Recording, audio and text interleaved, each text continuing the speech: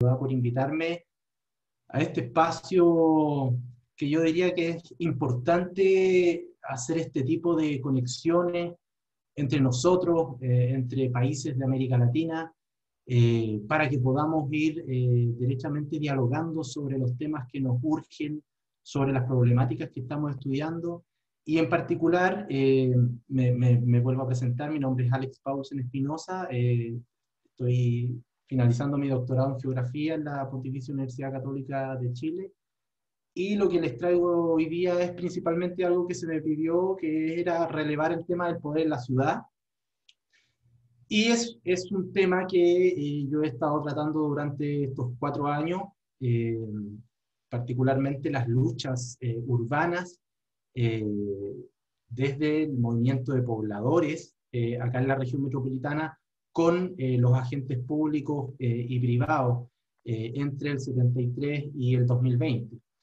Esta investigación se enmarca en, términos generales en, una investigación activista, es decir, yo me he introducido derechamente al, al, campo, y no solo al campo como observador, sino que como participante activo del, del movimiento de pobladores que al día de hoy yo les voy a presentar el caso de estudio, que es, que es el Movimiento de Pobladores Pucamao, eh, en donde yo participo derechamente de sus actividades, de sus iniciativas, eh, de sus eh, conflictos y además de sus propuestas para ir mejorando el tema de la ciudad y el acceso a la vivienda y finalmente el acceso a la ciudad y el derecho a la ciudad. ¿ya? Por lo tanto, bajo ese contexto, yo lo que les traigo hoy día es ese caso de estudio eh, y para partir, eh, la estructura de la presentación va a estar dada principalmente dentro de estos 30 50 minutos en, introducirlo al tema. Eh, posteriormente voy a desarrollar algunos aspectos teóricos importantes en relación al tema del poder y la ciudad. los materiales y métodos en donde yo voy a especificar un poco más el proceso de investigación para posteriormente desarrollar los resultados que, que, van desde el punto 5 hasta el, el punto 3. Entonces, para ir aprovechando el tiempo, eh, lo primero que les, quiero comentar, a modo de introducción, es que el poblador, eh, como persona, como, como, como, un actor relevante de, la historia urbana de, Chile, y particularmente de la región metropolitana, se comienza a, a, presenciar derechamente entre 1940 y 1973, donde eh, gran parte de sus acciones, eh, se dan en ese contexto y el poblador comienza a tener eh, una, una, importancia bien, eh, bien relevante en, no solo en temas de vivienda, sino que también en la política en general, en la política nacional de vivienda. el poblador con sus luchas urbanas e insurgencias espaciales que he llamado, que los voy a diferenciar, provocaron el crecimiento importante de la región metropolitana, por cuanto era la, eh, la, región que estaba concentrando la mayor cantidad de oportunidades laborales en un proceso de, eh, de migración desde ciertos sectores rurales hacia la ciudad en, esa época. ¿ya? Y el poblador llega a tener eh, una importancia tal que en 1968 se, se declara la ley 16.888 880, que es la ley que reconoce las organizaciones comunitarias y funcionales. Antes de ello, eh, los pobladores eh, actuaban de manera informal. Eh, sus agrupaciones que estaban en comités de vivienda, comités de sin vivienda, comités de personas allegadas, no estaba reconocido. Y en el periodo de 1940 a 1973 también hay que insertarlo en un contexto determinado, que es un contexto que eh, la historia lo ha llamado como de profundización democrática, y en ese contexto muchas eh, leyes que se comenzaron a dar apuntaban a ampliar un poco más la participación y la democracia. En 1937 eh, la mujer vota por primera vez, por ejemplo, solo tenía el derecho a voto, pero luego en 1949 la mujer tiene el derecho también a ser elegida, es decir, puede ser puede ser eh, una participante y puede ser elegida dentro de eh, los candidatos que existían. También aparece la ley de sindicalización en los sectores rurales. Por lo tanto, hay, hay una serie de leyes que entre el 40 y el 73, además de la ley 16.880, que tienen la intención de profundizar la democracia en Chile. Es en ese contexto que el poblador toma relevancia y comienza a alzar su voz por el tema de la vivienda, por el tema de la ciudad, y eh, sus intervenciones y, sus acciones están dadas principalmente por las tomas o invasiones en terreno que se los tomaban ilegalmente para construir eh, poblaciones eh, con, con, un material bastante precario, por así decirlo. ¿ya? material que, que, no era sólido, no era concreto, sino que eran materiales que ellos podían tener a mano, madera principalmente, para poder construir y autoconstruir eh, su, vivienda. En ese sentido, el Estado particularmente comienza a aplicar ciertas políticas de vivienda entre el 40 y el 73, eh, que de hecho tenían mucho eh, de beneficio para el poblador. ¿ya? En 1970, durante el gobierno de Salvador Allende, la vivienda se reconoce como un derecho. ¿ya? Se reconoce como un derecho entre el 70 y el 73. Es decir, las familias tenían todo el derecho de conseguir su vivienda. Eh, y anterior a eso, eh, en 1965 se crea el Ministerio de Vivienda y Urbanismo, eh, que, que, no existía una entidad encargada de la vivienda específicamente, sino que diferentes ministerios se encargaban del tema de la vivienda en sus diferentes ámbitos, infraestructura, saneamiento, eh, construcción de vivienda. Sin embargo, en el 65 es cuando el Estado comienza ya eh, una política de vivienda desde un ente público eh, que se encarga de ir tomando todas estas acciones que estaban dispersas en, en la institucionalidad para poder llevarlas a cabo. ¿ya? Y en ese sentido, las, las, políticas que existían en esa época tenían mucho de, de beneficio para los pobladores por cuanto eh, bajaban los costos de los materiales para la construcción de viviendas económicas, eh, habían impuestos específicos para la construcción de vivienda, eh, impuestos para el cobre, por ejemplo, ¿ya? un 5% del cobre se destinaba a la construcción de vivienda, eh, y las políticas urbanas en, en esa época eh, estaban derechamente relacionadas con eh, generar mayores redes de infraestructura, de equipamiento para las nuevas ciudades que se estaban formando. ¿ya? En ese sentido, la estructura de este MIMBU estaba, estaba en jerarquía, posteriormente la CORDI, que era la Corporación de la Vivienda, la CORMU, que era la Corporación de Mejoramiento Urbano, ¿ya? entre otras corporaciones que se encargaban de obras sanitarias, por ejemplo, también, y la Coravit, que era la Corporación de Habitación.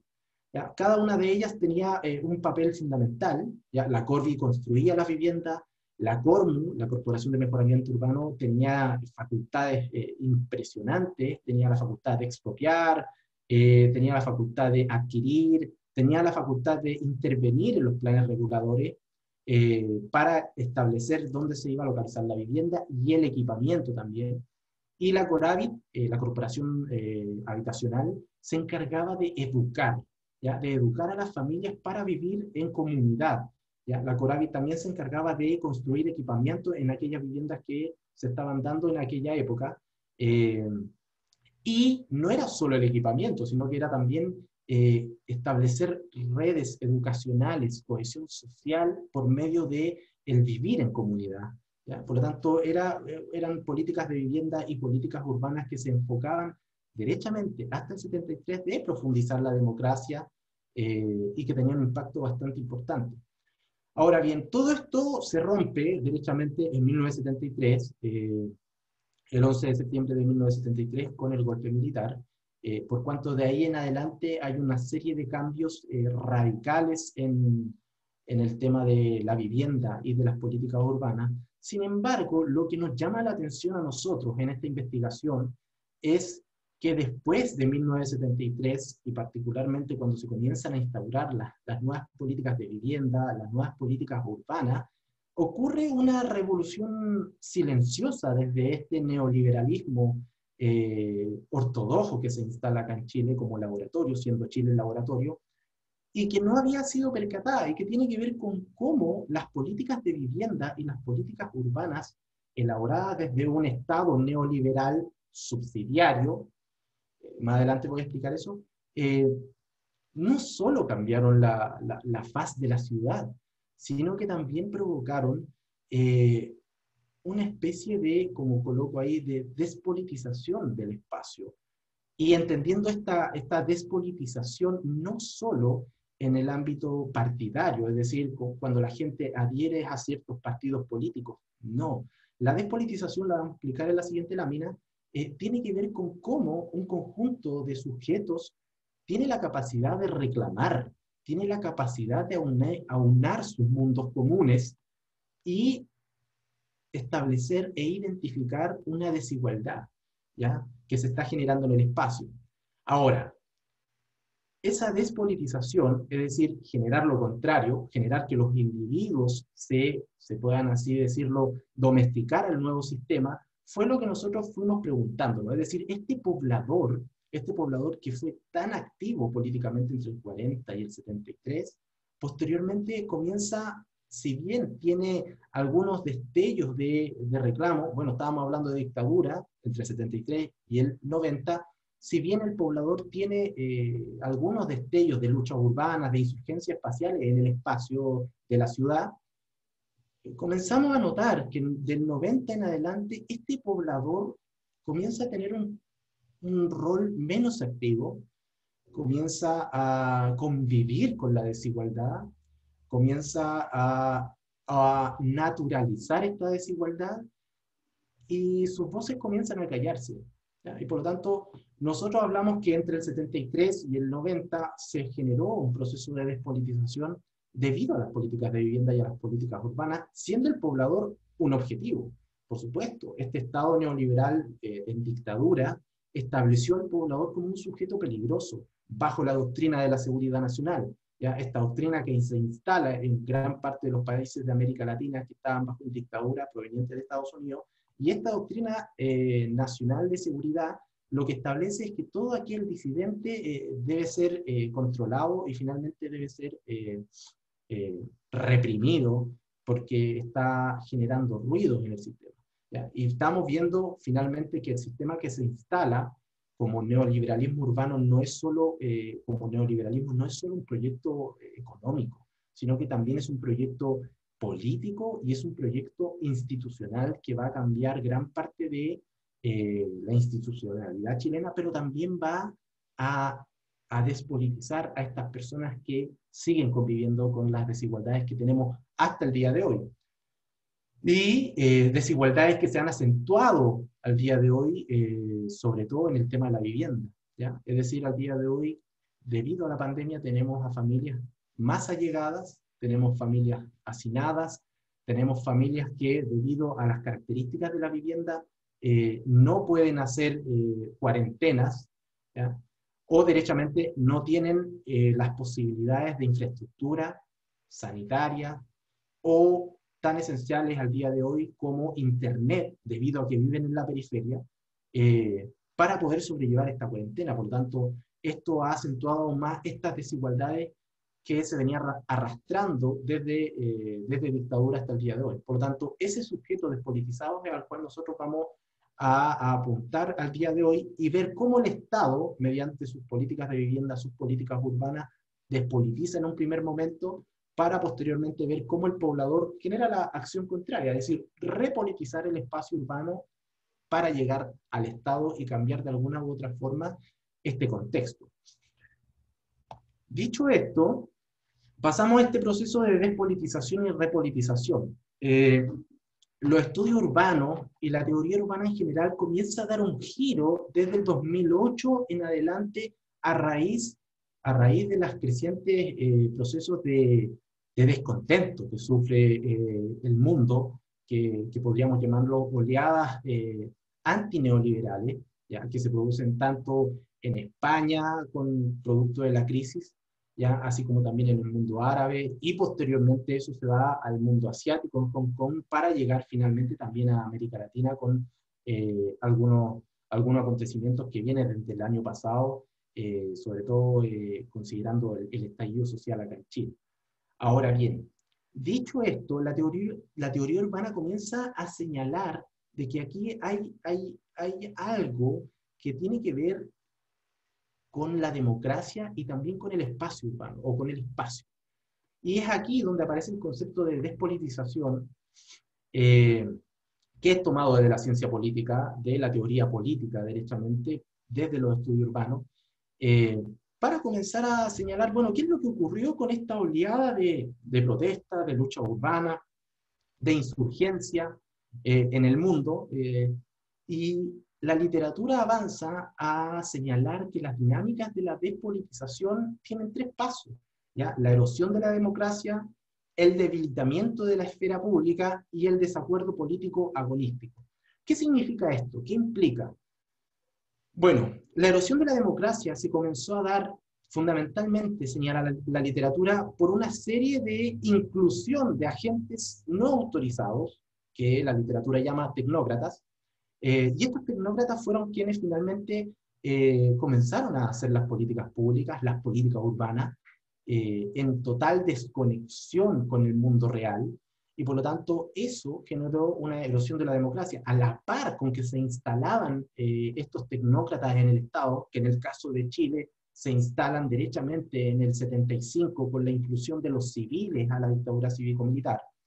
Estos tecnócratas acá en Chile van a tener una influencia, pero impresionante en, todo, en todos los ámbitos. Es decir, va a tener eh, significancia e influencia en vivienda, en salud, en educación, en el sistema de pensiones que tenemos. Por lo tanto, van a tener una influencia importante por cuanto los tecnócratas son aquellas personas que no solo tienen conocimientos técnicos, sino que también tienen influencias políticas al interior del Estado. Y por lo tanto eso va a erosionar la democracia.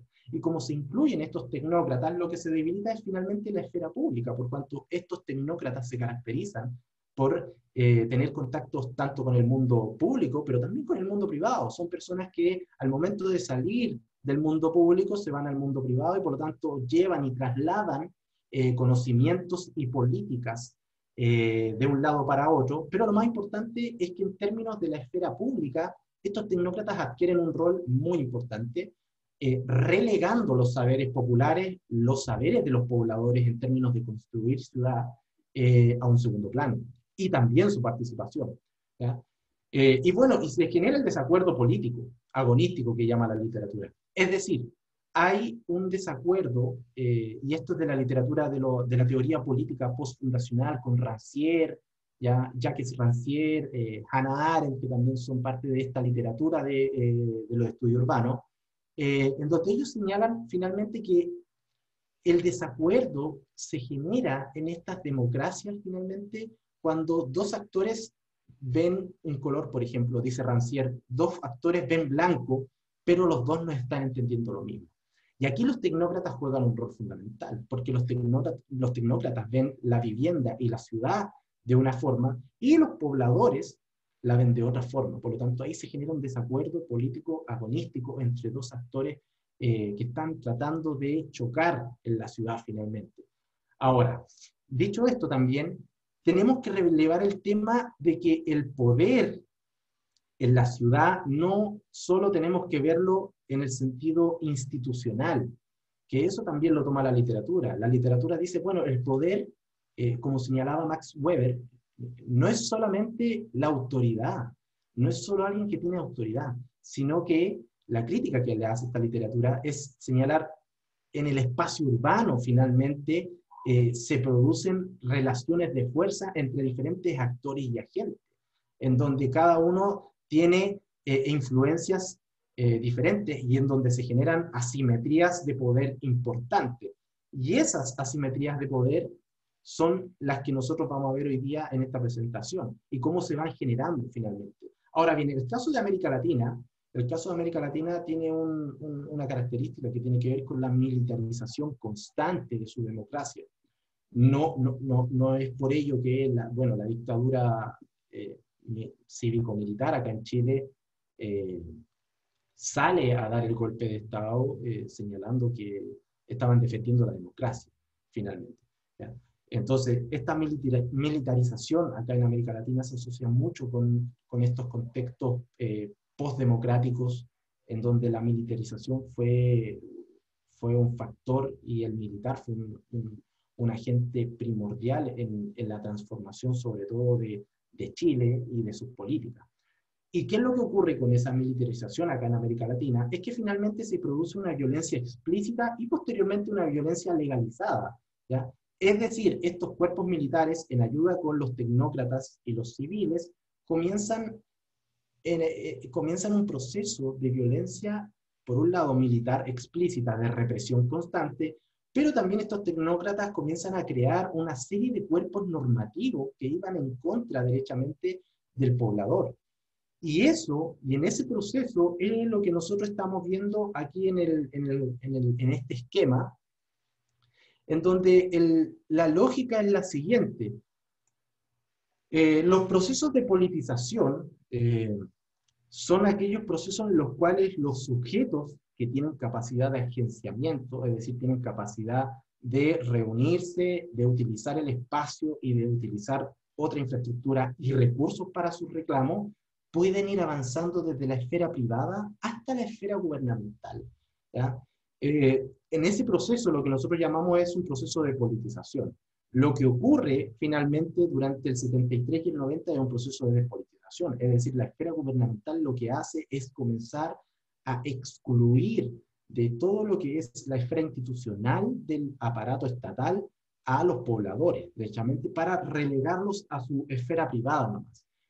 Sin embargo, yo agrego acá el espacio como un elemento esencial, es decir, el poblador necesita del espacio para poder llegar a la esfera gubernamental y repolitizar eh, el actual contexto en el que estamos, ¿ya? Un, un, contexto marcado por la despolitización. Ahora no, por supuesto, después del 18 de octubre ese proceso se comienza a cambiar, entramos a un nuevo ciclo.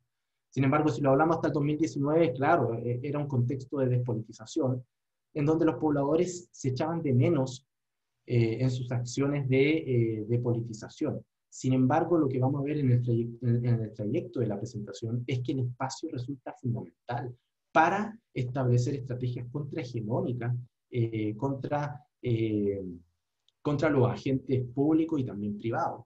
Entonces, en la medida en que el espacio los sujetos con su capacidad de agenciamiento pueden comenzar a avanzar desde su esfera privada hasta la esfera gubernamental, nosotros lo vamos a llamar como procesos eh, de politización o repolitización, como es lo que estamos viendo al día de hoy. ¿Ya? Y en la exclusión de ellos hacia su esfera privada, a su, a su espacio privado, lo vamos a llamar como de despolitización.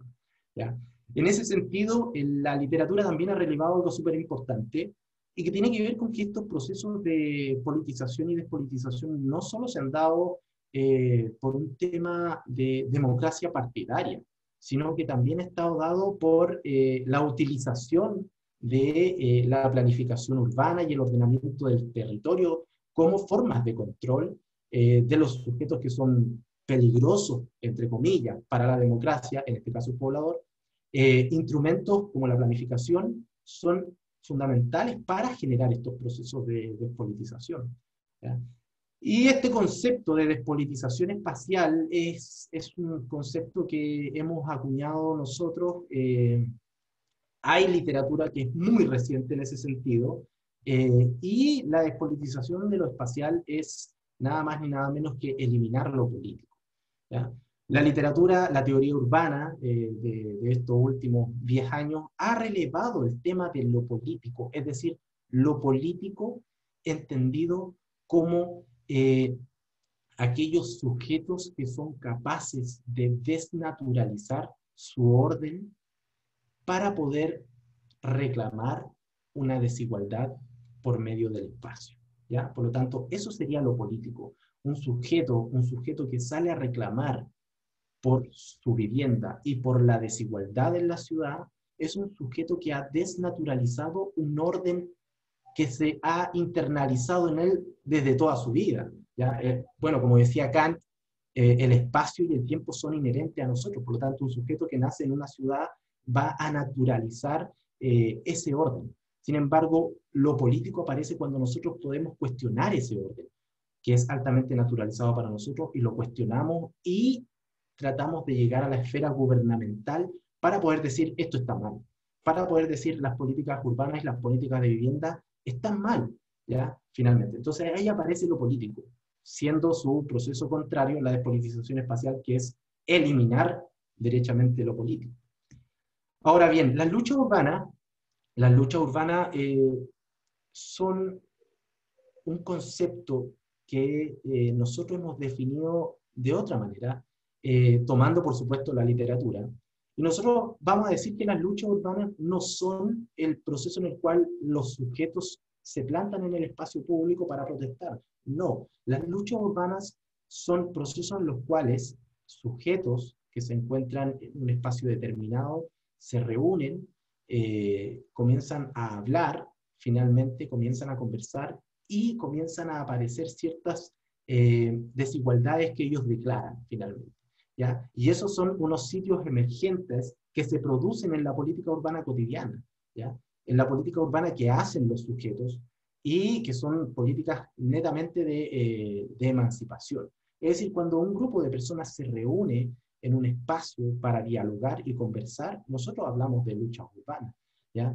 Eh, luchas urbanas que tienen la característica, eh, por el otro lado, de ser narrativas socioespaciales bien, bien importantes y bien interesantes, eh, porque ellas develan, develan derechamente los contextos de desigualdad, pueden develar también el contexto de despolitización, por cuanto si un individuo o un sujeto ve que toda su ciudad está bien y normal, cuando en verdad está altamente segregada, eh, y la vivienda no es un derecho, y la vivienda es un, que es un, bien que se transa en, el, los, mercados financieros, vamos a hablar que ese sujeto está altamente neoliberalizado y despolitizado. Él se adecuó a esa hegemonía. Sin embargo, las narrativas socioespaciales que nosotros vamos a revisar más abajo tienen que ver con cómo los pobladores señalan esas desigualdades, cómo esos pobladores eh, alzan su voz y las describen. ¿ya? Que nosotros también hemos llamado que las luchas urbanas son políticas autónomas que se, eh, que se valen de una infraestructura, de un espacio, de un contexto. ¿ya? Eh, y son estrategias espaciales que consideran sitios de intervención. ¿ya? Las luchas urbanas no son, como yo señalaba, protestas, protestas inorgánicas. Las luchas urbanas se tienen que organizar se tiene que eh, recrear una política eh, de reclamo en, un conjunto de sujetos para que esto posteriormente se vea eh, recreado en el, en el espacio urbano. Y esas son las insurgencias espaciales que nosotros hemos llamado. ¿Y por qué son importantes las insurgencias espaciales? Porque las insurgencias espaciales lo que hacen es mostrar a otros sujetos en esta teatralidad del espacio urbano, mostrarle a otros sujetos que hay algo mal, ¿ya? Y se interrumpe también el orden, por cuanto eh, las características de, la, de, las insurgencias urbanas son eh, tomar carreteras, cortar avenidas, tomarse espacios públicos, tomarse edificios públicos, es decir, esa intervención y esa teatralidad implica que otros sujetos tienen que verla. Y al verla se produce una especie de, eh, de realidad, por así decirlo, en donde se comienza a cuestionar qué es lo que está sucediendo. Esos otros sujetos dicen, bueno, ¿qué está ocurriendo que, que este grupo de personas está protestando en el espacio público y está cortando la calle?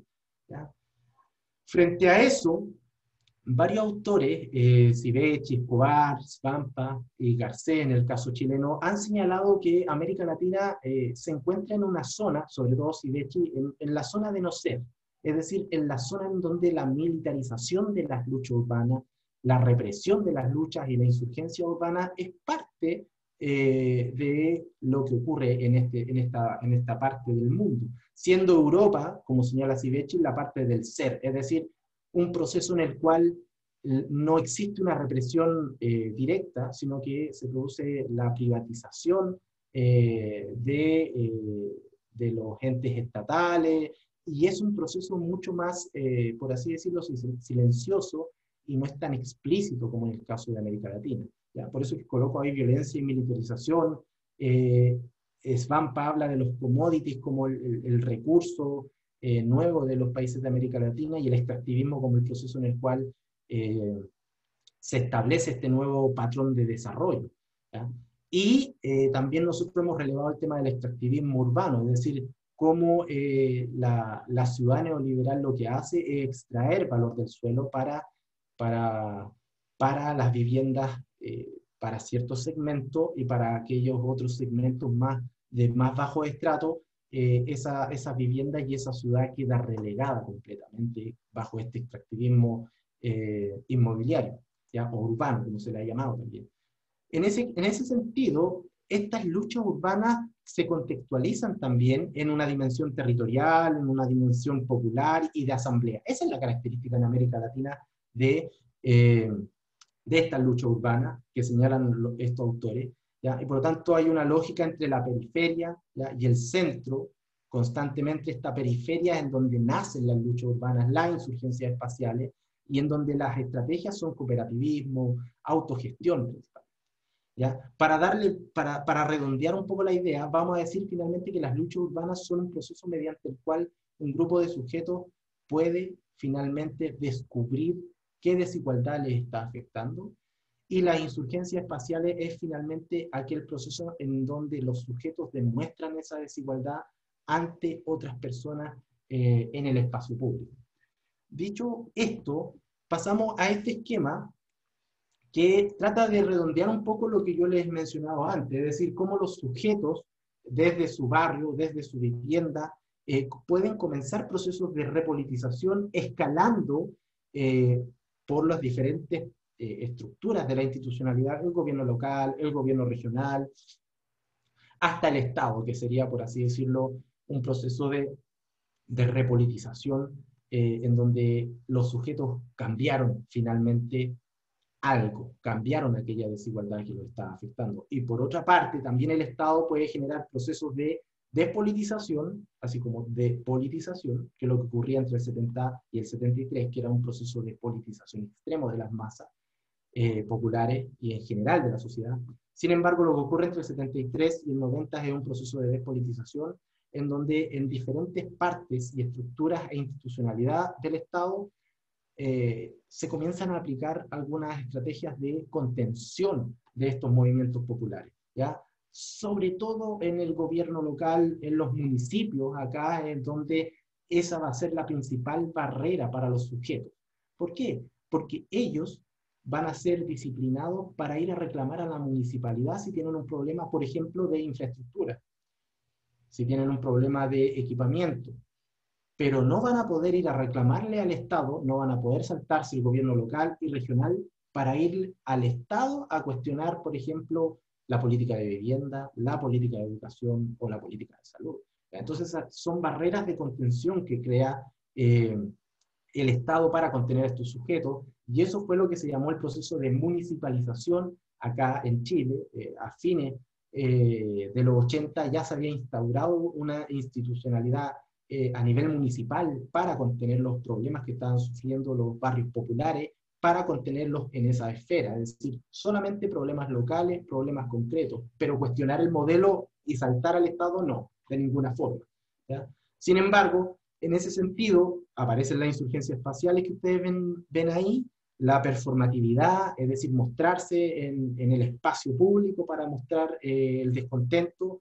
Eh, desde el Estado aparecen estos tecnócratas técnicos que tienen redes de influencia, redes laborales y de influencia que van a también estar ahí chocando constantemente con los sujetos porque ellos van a querer mayor participación y los tecnócratas le van a decir que no, que las políticas se crean así, o los van a hacer participar pero maquilladamente, eh, como se le ha llamado, una participación neoliberal, que fue muy, eh, fue muy común en Chile y que es común todavía, que es decir, sí, hay participación de los sujetos, pero finalmente eso se transforma en una lista de asistencia y nada más, ¿ya?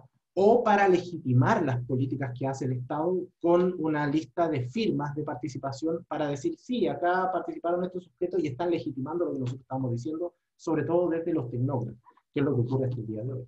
¿Ya? Por lo tanto, en este ir y venir se produce estas relaciones de fuerzas que yo les he mencionado, este poder en la ciudad está constantemente siendo eh, tensado, eh, los sujetos tratan de correr el cerco, de avanzar desde el espacio privado hasta la esfera gubernamental o el Estado, y por supuesto que acá los, eh, los privados juegan un rol sumamente importante, por cuanto muchos de los agentes privados que participan en gremios, que participan en, consorcios de vivienda, también eh, han sido agentes públicos en cargos muy importantes. ¿ya? Por lo tanto, entre agentes públicos y agentes privados hay una confluencia sumamente importante, en donde el Estado es utilizado derechamente para ayudar a los agentes privados, sobre todo en el tema de la ciudad. Ahora bien, pasamos, por lo tanto, a los materiales y métodos, eh, después de esta perspectiva más bien teórica. Eh, esto tiene que ver eh, con el análisis de políticas urbanas, de normativas, por supuesto que dentro de esta investigación activista se ha dado todo ese proceso para poder apoyar y acompañar al movimiento de pobladores en, en, sus procesos de lucha urbana. Eh, también hemos utilizado eh, información municipal, ¿ya? información municipal, sobre todo en referido a la constitución de los comités, que lo hemos geocodificado, lo hemos cartografiado entre el 90 y el 2016, que también nos ha dado algunos, algunos datos importantes y relevantes. Fuentes primarias de los 80, eh, que, son fuentes que nunca vieron la luz en los 80 por cuanto eran ilegales y generalmente eso terminaba quemado por los militares, pero que alguien los rescató y los dejó en un archivo público que se puede consultar. Eh, recientemente se hizo eso. Y también vamos a utilizar eh, censos de vivienda y población para ver los índices de allegamiento y hacinamiento en perspectiva histórica, ya del 82 al 2017, para ir viendo cómo las políticas urbanas han tenido efectos socioespaciales sobre los pobladores y cómo también las políticas de vivienda en general han tenido efectos sobre ellos.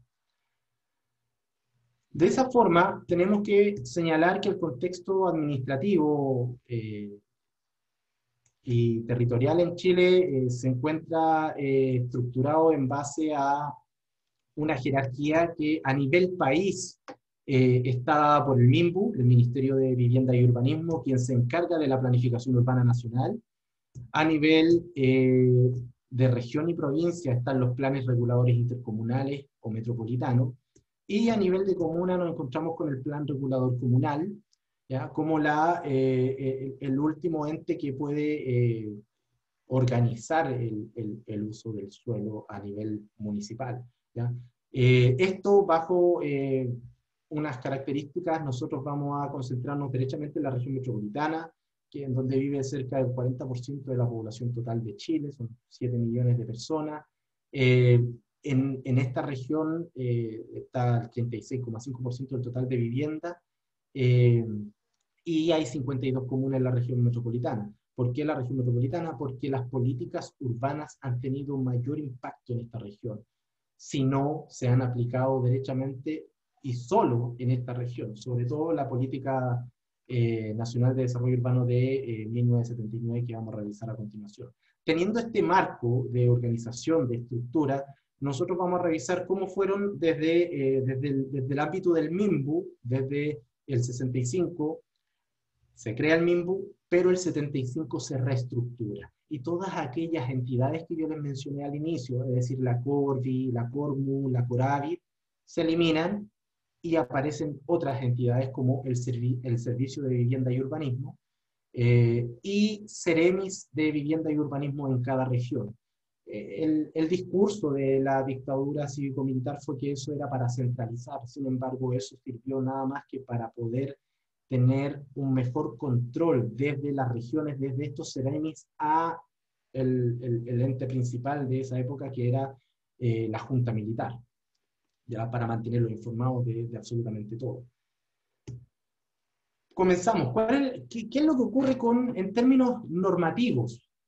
En términos normativos, lo que ocurre es que el poblador eh, se convierte en un objetivo, comienzan a aparecer una serie de, eh, de, aspectos legales que no eran, que no emanaban desde el Ministerio de Vivienda, sino que el Ministerio del Interior, es decir, del Ministerio que se encarga del orden y la seguridad a nivel interno del país, que iban en directa eh, eh, objetivo de eh, contener al poblador, de controlar al poblador finalmente. Y hay varios, varios, varias leyes que tienen ese objetivo. Por ejemplo, identificar las poblaciones de emergencia del país en el 74 fue lo primero que se hizo, es decir, tratar de identificar dónde estaban los pobladores y cómo vivían. Se crea el mapa de la extrema pobreza, que es un mapa que se crea desde niveles tecnocráticos, ¿ya? Eh, eh, en el Instituto Nacional de Estadística con la Universidad Católica. Y eso era identificar derechamente dónde vivía el poblador, cómo vivía el poblador, si vivía hacinado, si vivía llegado, qué características tenía. Se comenzaron a construir murallas hacia la vía pública y sitios peliasos. Esa fue otra normativa para que el poblador no invadiera estos terrenos y se los tomara como forma de presión para poder acceder a la vivienda. Se autoriza la suspensión de lanzamientos de ocupaciones ilegales, ¿ya? se hace un listado de terrenos municipales ocupados por los pobladores y el 79 se presenta el plan de erradicación, ¿ya? un plan que emana desde el Ministerio del Interior, pero que va a ser ejecutado por el MINBU. Y ese plan tenía que ver con que, bueno, identificábamos primero dónde estaba el poblador, ahora tenemos que revisar y ver bien cómo los podemos erradicar si están en algunos sectores determinados de alta plusvalía, de alto valor, que es lo que va a ocurrir después del 79 con sectores determinados de la ciudad. ¿ya?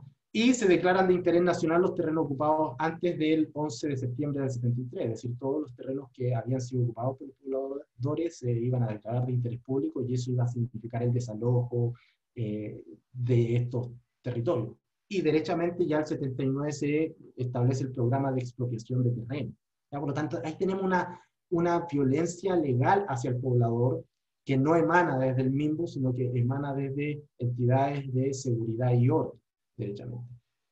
Eso va a legitimar la instalación de una serie de procesos que comienzan en el 76 para instalar la ciudad neoliberal y que, y, que operan con eh, estos programas de erradicación, que en, su inicio se llamaron Operación Confraternidad 1 y 2, en donde en el 77 se erradican a 332 familias y en el 78 a 1850 familias hacia 16 asentamientos en 10 comunas diferentes, según capacidad de pago. Es decir, según capacidad de pago, cada familia se podía ir a comunas eh, con mejor equipamiento, infraestructura consolidada, o si tenían menor capacidad de pago, se iban a otro sector. ¿Y qué hacía eso? Finalmente lo que hacía era romper las redes sociales que el poblador había construido históricamente eh, en los años anteriores, finalmente. Estos fueron procesos iniciales, esto no estaba formalizado, entre el 76 y el 79 son, esta operación confraternidad fue una especie de ensayo, una especie de ensayo para ir viendo cómo se podían ir reacomodando estas familias. ¿Por qué? Porque posteriormente lo que va a ocurrir es que se va a formalizar esto, debido a la Política Nacional de Desarrollo Urbano. ¿Y por qué se formaliza la erradicación de los pobladores? Porque los efectos de esta Política Nacional de Desarrollo Urbano van a ser bien importantes. El precio del suelo va a aumentar en un 200% debido a que, como ustedes ven en el punto 2 de esta política, se declara que el uso del suelo queda definido por su mayor rentabilidad. Es decir, el suelo ya no es un recurso escaso, entra la lógica del mercado y por lo tanto los precios se comienzan a disparar dependiendo del lugar.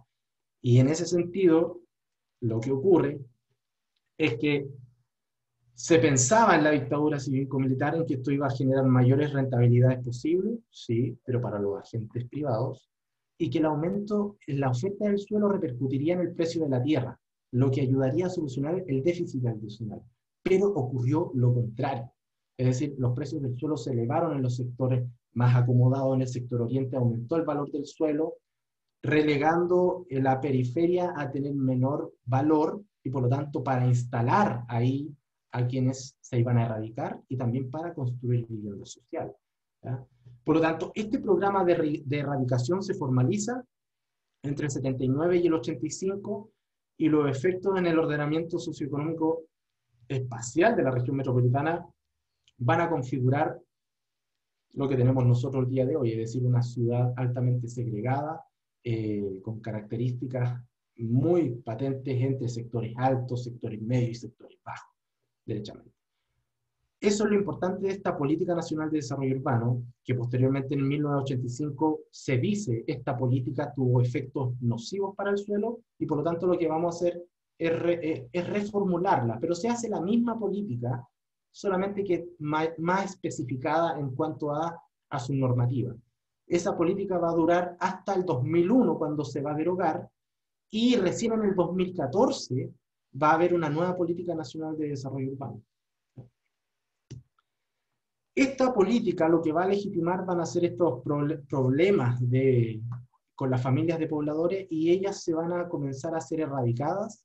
¿ya? Como ustedes ven ahí, Las Condes, Las Condes era una, es una de las comunas acomodadas del sector oriente junto con Providencia, La Reina, eh, Vitacura. Por lo tanto, la expulsión de pobladores de ese sector fue bastante importante. Eh, y es más, los pobladores se radicaron, se expulsaron a otros sectores en donde no había comunas. No había una institución formal llamada comuna, sino que al momento de expulsarlos, como ustedes ven bien ahí, eh, en 1980 eh, se produce una creación de comunas nuevas que van a ser las comunas a donde van a llegar los pobladores. Y como no hay institucionalidad, no hay comuna, no hay un municipio, por lo tanto, no hay una organización administrativa, no hay equipamiento, no hay infraestructura, no hay planificación urbana, no hay nada. Por lo tanto, esos territorios fueron eh, territorios ocupados de manera inorgánica eh, y en donde persisten todavía los mismos problemas. Fíjense ustedes que aquí en la pintana, acá abajo, en este gran círculo negro, la pintana hasta el día de hoy existen los problemas de hacinamiento, los problemas de eh, allegamiento, problemas de delincuencia, problemas de droga, debido a que gran parte de las, de las personas y pobladores fueron erradicados a esas comunas y se erradicaron sin ningún tipo de servicio. Por lo tanto, comenzaron a crecer de manera eh, eh, desordenada, sin planificación, autoconstrucción. Y esa comuna es más, varias de esas comunas que se crean en el 80 no van a funcionar y no van a empezar a funcionar hasta el 90 eh, y por tanto van a transcurrir 10 años en donde el poblador va a decir, bueno, ¿a quién recurro eh, si necesito servicios básicos, si necesito infraestructura? Y por lo tanto, este problema generó que al día de hoy, como vamos a ver más adelante en la cartografía, esos mismos sectores tengan los mismos problemas de hacinamiento y allegamiento que al día de hoy con la pandemia se han visto agravados.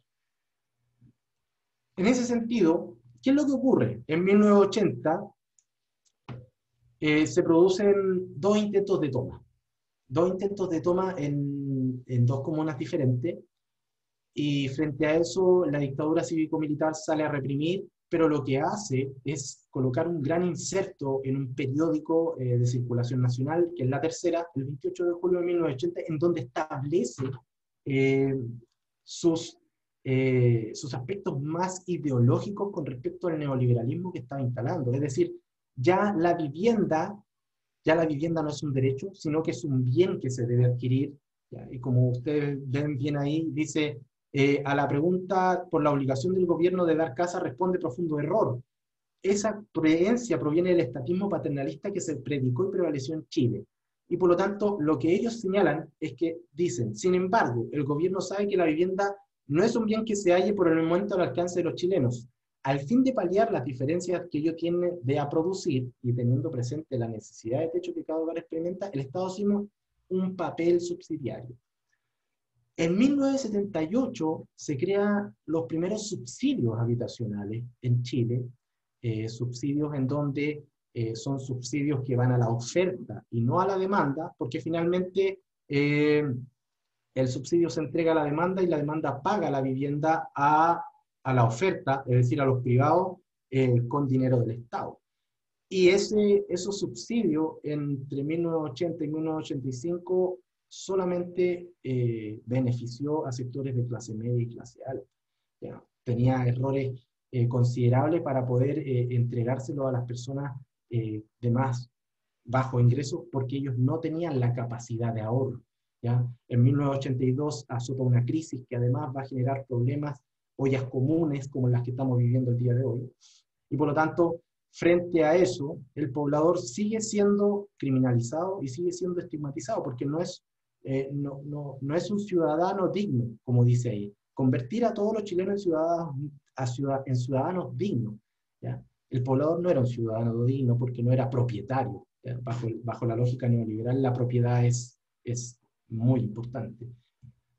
Por lo tanto, Comienza la amenaza y la represión mediante los subsidios.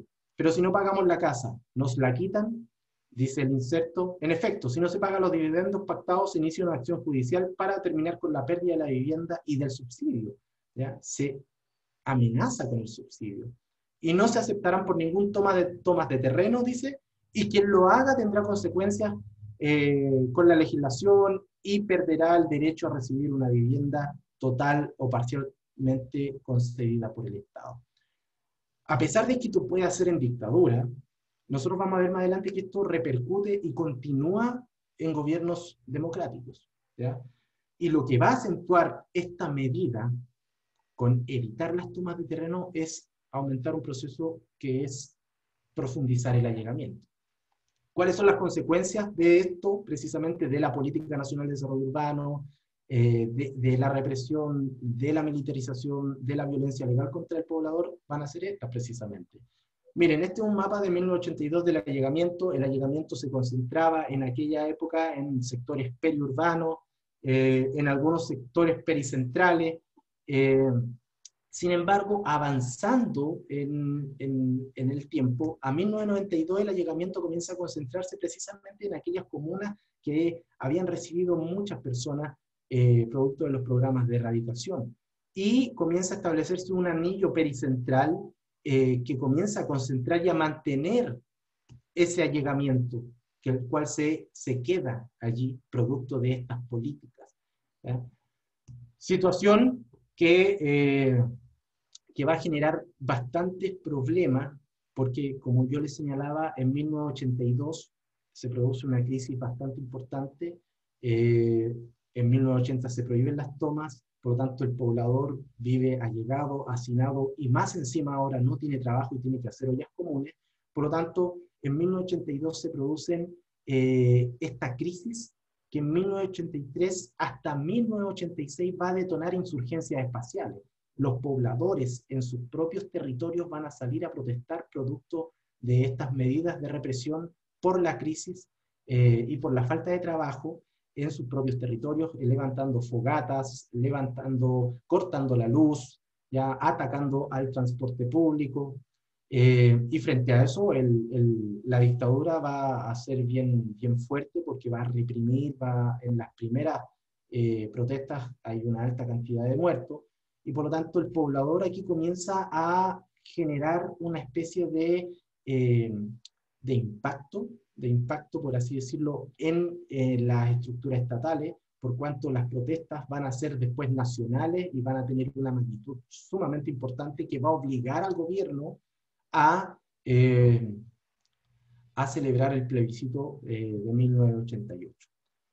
Sin embargo, esas insurgencias espaciales no llegan a la esfera gubernamental, solamente se producen en barrios populares, pero lo que sí hacen es tener un impacto importante sobre el futuro de, eh, de la dictadura en términos de abrir un camino para poder eh, votar si continúa o no continúa la democracia. Y los pobladores en conjunto con eh, los sindicatos van a tener una presencia bastante importante en este sentido. De esa forma, los diarios barriales de los cuales yo les comentaba eh, dan cuenta de un aspecto súper importante que tiene que ver con eh, que los programas de erradicación no solo duraron hasta 1985, sino que como práctica de la dictadura se continuó desalojando a, eh, a las familias desde sus territorios para expulsarlas a otros lugares. ¿ya? Y por tanto, eso es lo que señalan estos diarios barriales, que son diarios que eran eh, hechos artesanalmente por los pobladores en sus comunidades para tener medios de comunicación entre ellos, ¿ya? Eh, se los distribuían y así podían comunicar noticias eh, de diferente índole. sin embargo, lo que declaran estos diarios es que finalmente la represión es parte de los pobladores, los pobladores que eran allegados de otras poblaciones son reprimidos, los desalojos se multiplican en las comunas, eh, y aparece también un aspecto que, es, que, que, también va a perdurar hasta el día de hoy, que tiene que ver con la indolencia de, eh, eh, de los agentes públicos. ¿ya? Con, justo, justamente con lo que declara el, el, último inserto de un diario barrial, donde 30 familias fueron desalojadas. ¿ya? Fueron desalojadas de una toma, de una invasión, eh, y el alcalde lo que les dice finalmente es váyanse para la casa, cuando en verdad no tenían casa. ¿ya? Y por eso es que tenían que tomarse los terrenos. Ese mismo tipo de declaraciones son las que persisten el día de hoy eh, con el movimiento de pobladores. Y de esa forma el índice de hacinamiento también demuestra lo mismo, es decir, un índice de hacinamiento que nos, no, nos, nos revela que producto de estas erradicaciones eh, los pobladores comenzaron a concentrarse y a hacinarse en las comunas pericentrales y centrales eh, de la región metropolitana. Para ir avanzando, eh, finalmente, eh, y para ver ahora cómo, cómo ocurre el, el, efecto contrario, cómo comienza a repolitizarse el espacio urbano en la región metropolitana, eh, tenemos que ver qué es lo que ocurre con los comités de vivienda y nosotros vamos a revisar el, el, el, caso del movimiento de pobladores Ucamao. El contexto es que al día de hoy existen 1.857 comités de vivienda y allegados en donde se dividen eh, entre 1.132 de vivienda y 650 de allegados. Si nosotros los distribuimos espacialmente, vamos a ver que las comunas en donde fueron erradicadas las familias eh, son, las, son los lugares en donde la organización de comités de vivienda es más patente. ¿ya? ¿Esto qué nos dice también? Nos dice que el comité como, como institucionalidad formal ha sido tomada por los pobladores como una vía y como la única vía para acceder a la vivienda. Es decir, ellos no tratan, no tratan de acelerar los procesos de acceso a la vivienda. ¿Por qué digo acelerar?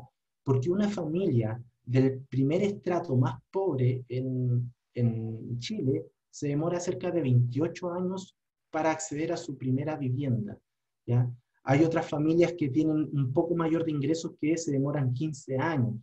¿ya? Sin embargo, lo que sí ocurre es que los comités de vivienda actúan muy dentro de la institucionalidad, muy formalmente, y son los que están localizados en aquellos lugares en donde la desigualdad en infraestructura, en equipamiento es evidente, ¿ya? particularmente evidente.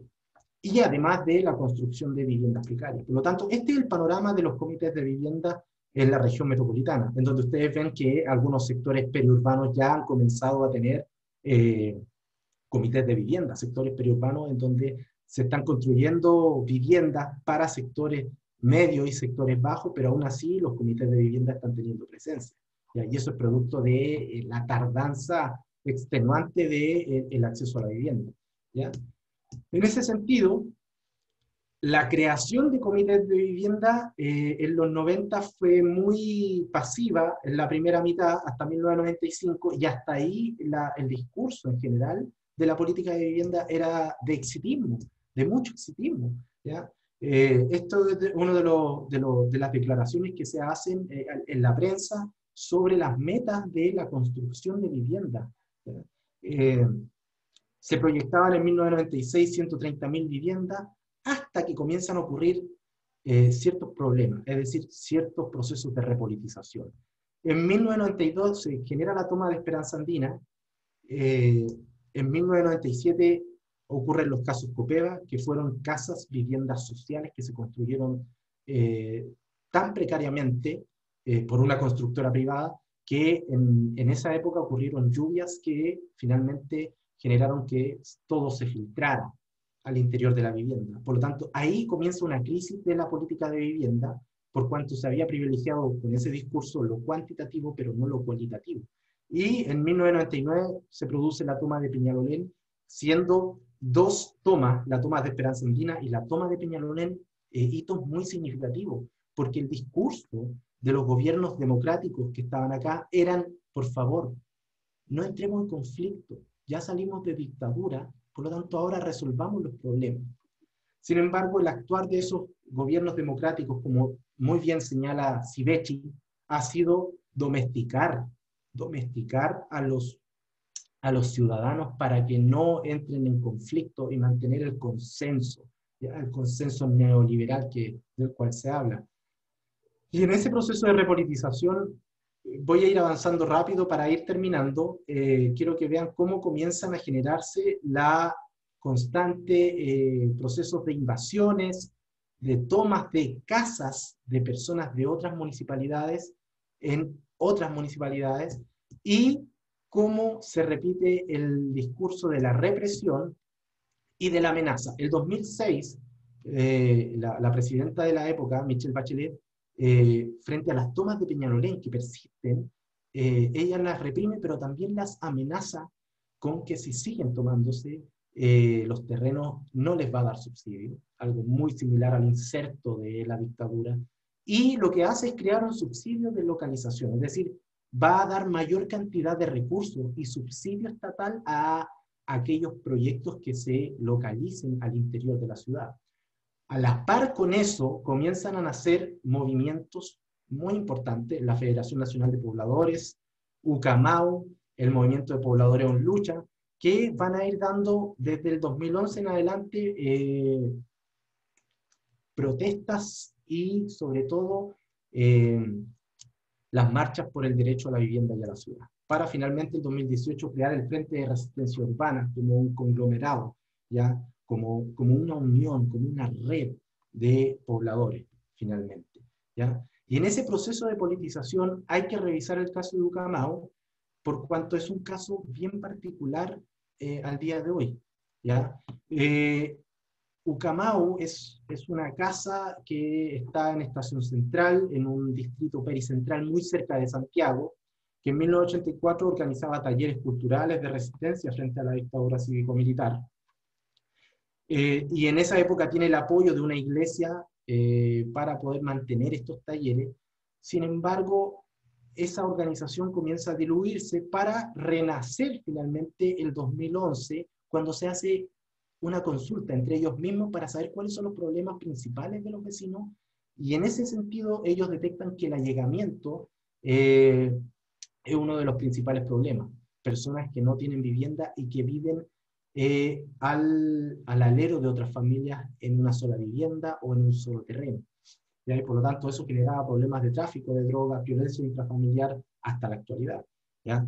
a pesar de que también fueron apoyados por el programa Chile Barrios, que es un programa para, eh, para poder sanear la vivienda, entregar títulos eh, de propiedad eh, y también entregar infraestructura a la vivienda, en un momento este, este programa se les acaba, en 2011 precisamente, después del programa Quiero mi barrio, y aún así ellos continúan con este problema y en 2011 se conforma este comité de vivienda que posteriormente pasa a ser el movimiento de pobladores Ucamao, teniendo, eh, teniendo representación en varias comunas de la región metropolitana, porque ellos alcanzaron a repolitizar eh, un poco la política de vivienda.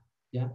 Y después de organizarse, se comienza a acrecentar la cantidad de personas que llegan producto de lograr el proyecto de vivienda que ellos querían para finalizar en 424 familias, que es el proyecto que ellos van a, eh, que ahora se está terminando de construir, eh, y de esas son las primeras 424 familias, quedando posteriormente unas 1.200, 1.500 familias a la espera, ¿ya? debido a las acciones que realiza Ucamao y el modelo que establece.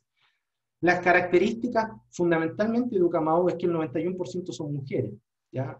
el 24% arrienda, el 76% son allegados, eh, el 70% vive en departamento, otro 15% en mediagua, que son viviendas de madera pequeñas, y otro 15% en casa. ¿ya? Eh, tipo de hogar eh, monoparental, madre e hijos generalmente separadas, el, el 15% hogar biparental, madre, padre, hijo, y 15% hogar uniparental, ya sean personas solas, viudos o viudas. Generalmente el 51% tiene un dormitorio por núcleo allegado, eh, dos dormitorios, 44%, y en realidad eso era lo más eh, acuciante y lo que más agravaba la situación de, eh, de estas familias. ¿ya? Y número de personas de familia allegada, y ahí hay un porcentaje de 42% de dos personas, tres personas, cuatro personas, cinco personas.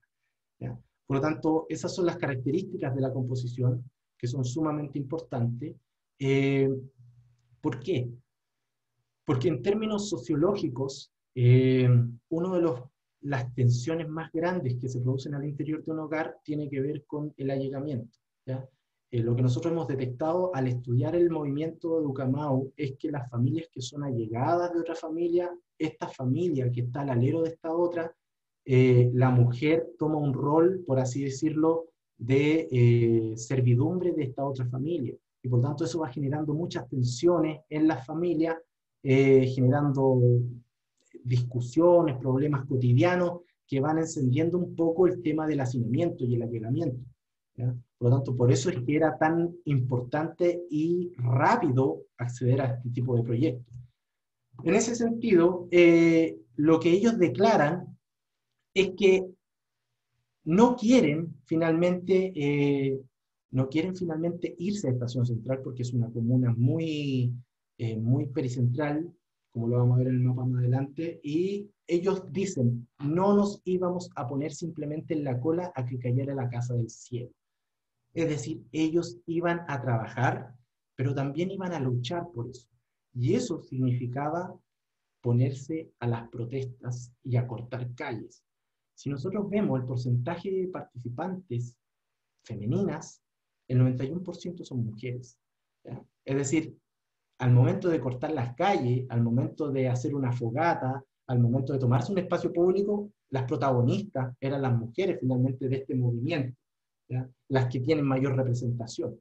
Y por lo tanto, ellas fueron las que comenzaron este proceso de lucha con la tecnocracia, con los agentes públicos y también con los agentes privados. Y es por eso es que ellos nunca quisieron irse a la periferia.